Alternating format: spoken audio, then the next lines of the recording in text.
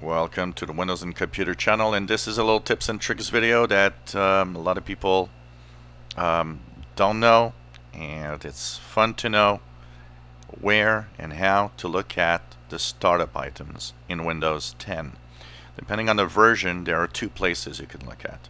One, you can right click on the taskbar at the bottom of your screen go into Task Manager and here you have Startup when you click startup you will see the apps that start with your PC and their impact.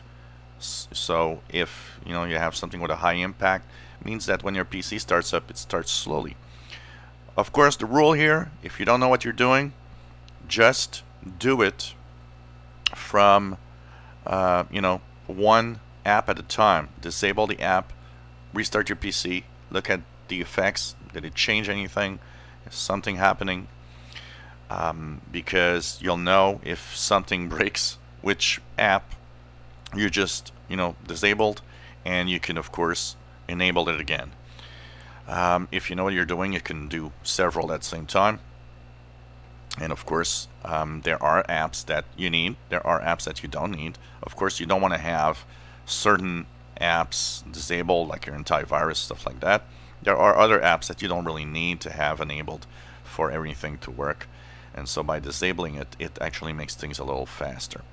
If you're in the latest version of Windows 10, the April uh, 2018 update, you can also go into settings. You can go into apps and you can go on the left side panel to startup and see what is starting up.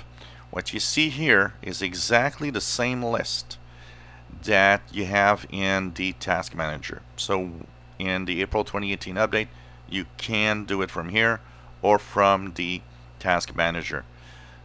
It's fun to have it here. I think it's a good idea that they have the uh, startup apps and tell you with the little sliders on and off.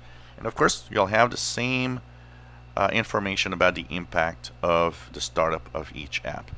The less you have apps that are starting up, the faster will, your PC will boot, the faster your PC will also run because these apps, they also run in the background while you're using your computer. If you enjoy my videos, please subscribe, give us thumbs up, and thank you for watching.